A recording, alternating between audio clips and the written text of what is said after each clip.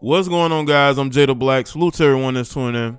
I want to talk about Alfonso Ribeiro. I have two different articles here, but they basically speak on the same thing. Uh, this is more of a, a, This was as of yesterday from the Grio, but I'm going to read the one from Atlanta Black Star. An actor, Alfonso Ribeiro, I'm pretty sure y'all know him from The Fresh Prince of Bel Air. He's been doing a lot of things on TV. As of recently, he was on Dancing with the Stars he's married to a Caucasian woman. And he is basically saying how that is keeping him from being fully accepted uh, by melanated people. And I'm here to speak in this video to basically say, who cares? But obviously he does. Now, I know he's not talking about black people in his everyday life. This guy lives in California, the land of race mixing. So he can't be talking about his everyday life, you know. I'm t- I believe he's talking about social media and social media has become real life to these people.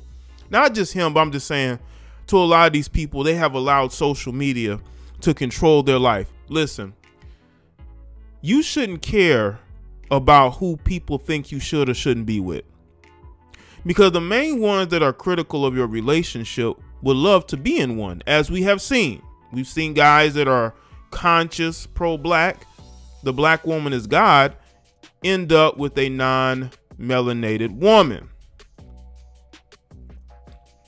So we have to stop with this whole people caring about who I'm with and whether they think that I'm conscious or pro black. Who cares in 2021? Most of these people are not as blackety black as they perceive people perceive they want the perceived notion to be. And unfortunately, people want to fit in somewhere. I'm comfortable not fitting in anywhere, but a lot of other people are not. You should never care about people accepting who you chose to love. That is a problem with our society. But according to this article, I'm in my own little world with support from almost no one. Alfonso Ribeiro opens up about living in a mixed world and why he'll never be fully supported in the black house. Bro, who cares? Do you? Uh, most again, most of those people criticizing you would love to be in an interracial relationship. Fresh Prince of Bel Air delivered laughs, tears, and life lessons for six years as fans look forward to what kind of hijinks or family drama Will Smith and his cousin Carlton Banks, portrayed by Alfonso Ribeiro, could find themselves in each week. Alfonso Ribeiro has felt punished for portraying the role so well that it stuck with him throughout his career. He still looks back on his time working with the cast with warmth and fondness. The America's Funny Videos host spoke with Atlanta Black Star about what allowed him and Will Smith to sustain such a magnetic on-screen energy and how living in a mixed up world with his family has sometimes left him feeling a lack of support and his hopes for everyone to live in a world that they want to live in. I think we should all do that. And again, he's going off of how he's been treated, probably by his family. I'm pretty sure the people in his family that doesn't accept who he's with. People on social media, um, but I think that in 2021, um, there are a couple of different types of people. There are people who don't care, who are indifferent. There are the people that want to live in a mixed up world, and there's the people who, um, low key, want to be in a mixed world. They're not gonna say it because again, they want to fit in.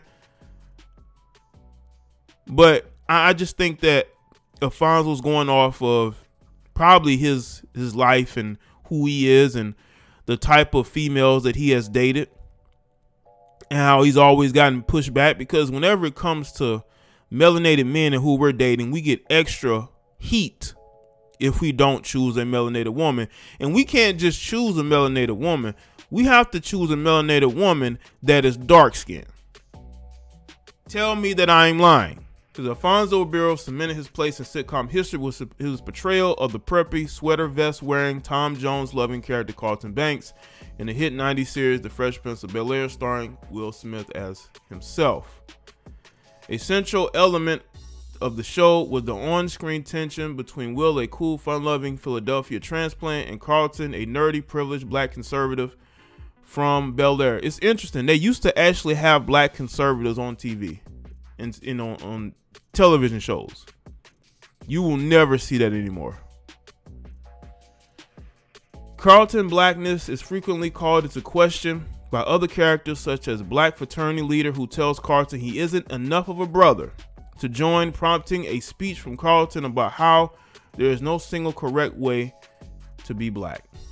While Ribeiro has always expressed gratitude for the show's success, the 49 year old has been vocal about how being typecast as a character like Carlton has made him feel ostracized from the black community because he has become a meme.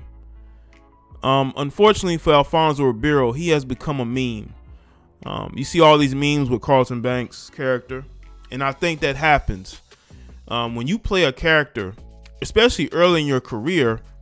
That's who people are gonna see you as. So when it comes to other projects, people are not gonna see you as anything differently.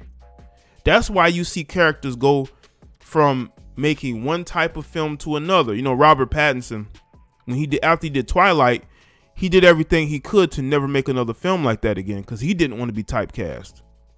So he went and portrayed, uh, you know, different types of you know characters and different types of films because he didn't want to be typecast. And a lot of characters do that, but it takes a lot of work to get rid of that stigma. And he just Alfonso Ribeiro for a long time just really couldn't shake that. It still happens almost every day, unfortunately, Ribeiro told the Atlanta Black Star about having his blackness challenged. I am in a mixed relationship and I get things and looks and comments constantly. And I find it very interesting because you see a lot of things on social media where people say things that people have positions and perspectives, and it's not easy to make that choice because you're not at home in any home. You're not at home in any home. I'm never going to be white and I'm never going to be fully supported in a black house. Ribeiro married writer Angela. Is it Unkrich? I think that's how you say it. You Unkrich. I, I guess how you say it. Who is Caucasian in 2012, which he said has contributed to his feeling like the black community doesn't accept him. I think the black community doesn't accept him because he's not a stereotypical Negro. He's not a stereotypical Negro. And that's what Alfonso might be alluding to. Uh, he's not a stereotypical guy. He really isn't. Y'all know we only mainly accept stereotypes. I think we're concerned with who's black and who's not. I just think people are just weird. I think they worry about the wrong things. Uh, there's no leadership in the black community, which is why we have no direction. So nobody knows what's truly black and what's truly not. I just think people need to find happiness wherever they find it. I mean, you see melanated women get praised on social media every single day for dating out.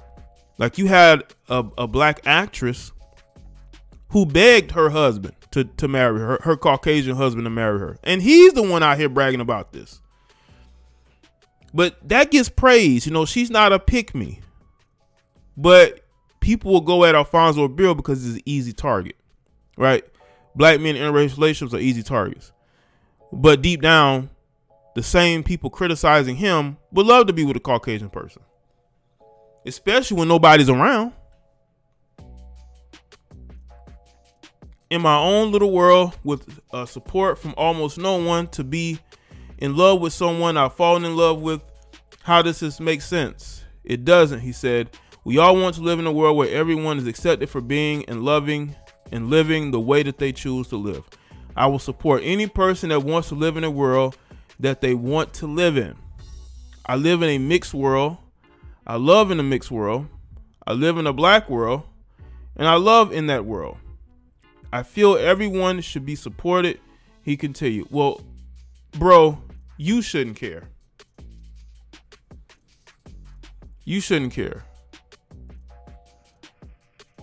And I honestly think that you got people who, again, are only criticizing you because they want to do what you do. You know? He implied that these perceptions have led to the BET Awards neglecting to invite him. Despite being so well known for The Fresh Prince, as well as serving as the current host of ABC's America's Funniest Home Videos.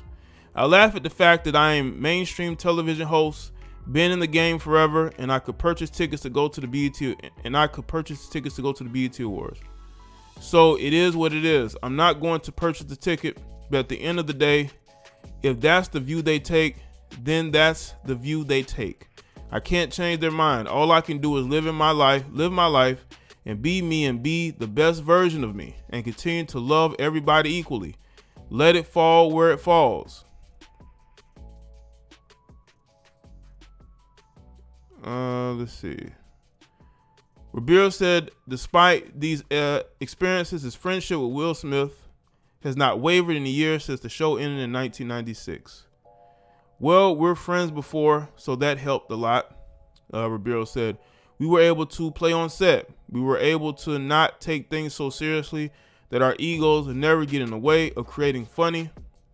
The things that we learned very early on was if I, his straight man, and he gets the big laugh, we both win. If if he's my straight man and I get the big laugh, we both win. I believe our success on the show was so great because we never stopped each other from winning. And that's how it should be. Um listen, let me tell y'all something. It, let me just say this about the, the the melanated women that are gonna feel some type of way about who he's married to, because that's who it is. Because I don't think black men care. You, you got the black simps that care, but the melanated women care because they want to be with a Brad. They want to be with a Caucasian man. And because a lot of Caucasian men don't take relationships with melanated women seriously, they end up back on the dating market a lot more and more. And they're so jaded that they attack a Alfonso, Alfonso Ribeiro because no Caucasian man that they want is, is really checking for them like that or if they are dating one, it's a very, very, very low key relationship that they don't take seriously. So what they do is they get on social media and they will go at Alfonso Ribeiro. They will go at him because they wish they had the type of relationship that it, uh, they wish that, that he has. That he's with a Caucasian woman that's proud to be with him. They want to be with a Caucasian man that's proud to be with them, but they never find that. So the next best thing is to attack melanated men who date out and are able to start a family.